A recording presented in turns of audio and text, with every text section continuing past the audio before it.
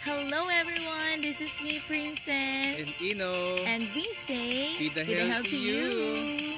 So, um, we are live here in our page. So, I would like to say thank you for watching. Ikaw, ano masasabi mo sa mga live audience natin?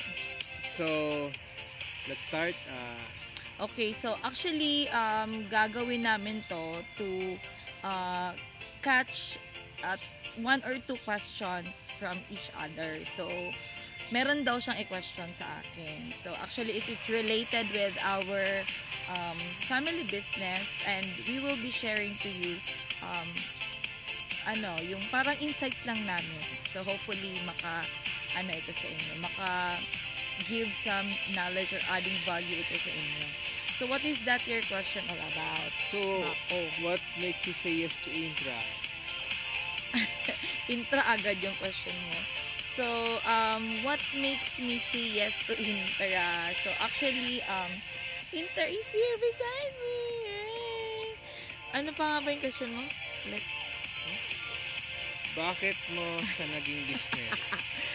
ba- bakit ko iniinom yung. Intra? Okay, by the way, yung first question mo kanina, bakit ko nag bakit nag-say yes ako sa Ita, 'di ba? Usually ang first ko talaga na ano um purpose why I'm say yes to Inter it's because when I met this one of a kind product I um I, I kanang I feel like not well.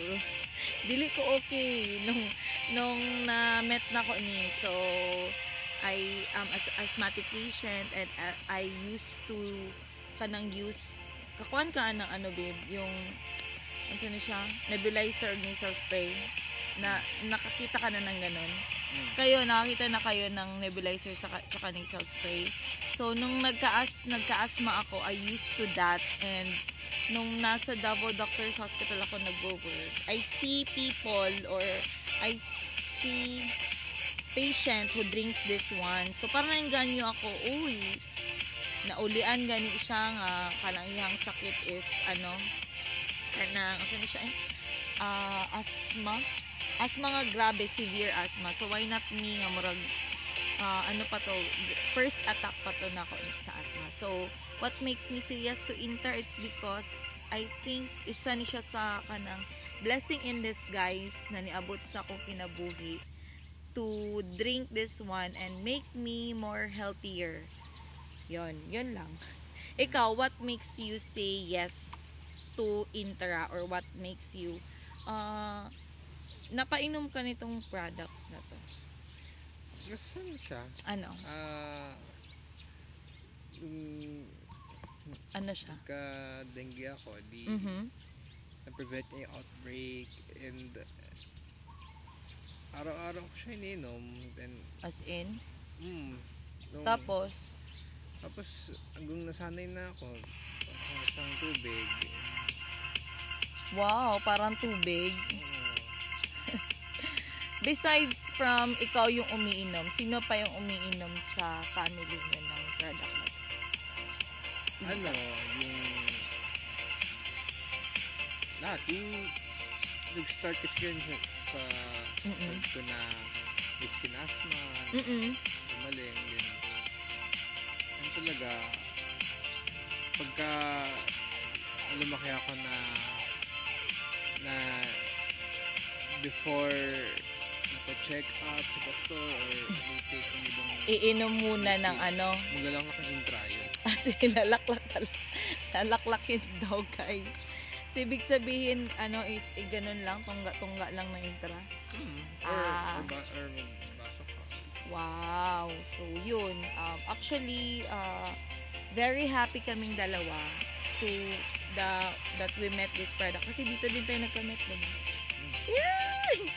Oo. So, yun. Yun yung parang story namin why we drink this Intra juice. Ako, na, ako, it's my sixth year in drinking this phenomenal product. How about you? Hmm. Mga Ano 19 pa alala? years. Mga? 19 years. Wow! 19 years sure ka? So yun, yun yung am- aming sharing this time. So hopefully, you learned a lot from it. And if you are a person who who wants to drink this Intra, ano masasabi mo sa kanila? Ano, take take the chance na try nyo then Mhm.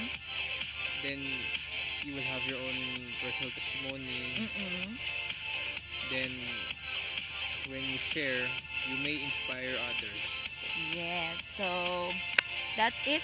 It's end up our 5 minute sharing. So, hopefully guys that um, meron kayong na-learn from us about this powerful and amazing products that we have. So, it's Intra. And this is me, Princess Seyi. And, Ino and we say, Be the hell healthy to you. you. For more details and if you want to order this product, you can um, check our website and a Facebook page okay, you can, or all or you can text us for orders. So, thank you so much and have a great day everyone.